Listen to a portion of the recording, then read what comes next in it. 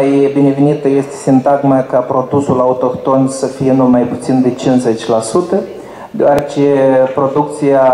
uh, sau contentul uh, radiodifuzorilor noi îl privim altfel sau îl ascultăm din alt mod. Deci dacă este publicitate sau o dezbatere politică, noi schimbăm canalul acolo unde este muzică. Și vedem dacă este producție nouă, calitativă, care impresionează.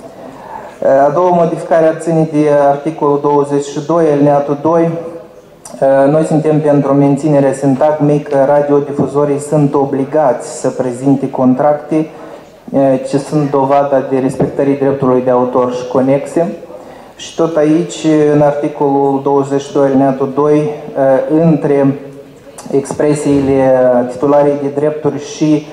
asociațiile gestiunii colective să mai fie introdusă o, o expresie și uh, reprezentanții legale ai acestora, fiindcă trei, sunt trei subiecti diferiți, titularii de drepturi, reprezentanții legale ai acestora și OGC-urile. De asemenea, noi suntem în dezacord cu poziția guvernului dată în aviz, și anume în punctul 30 al avizului guvernului referitor la alineatul 85 la articolul 85 alineat 4 litera G, precum că Guvernul pune uh, la îndoială abilitatea CCA-ului de, de a verifica existența uh, contractului privind drept de autor, uh, anume prezența sau un contract încheiat este și dovada acestui lucru, de aceea credem că această sintagmă trebuie menținută în orice variantă de proiect de lege și CCA-ul este în drept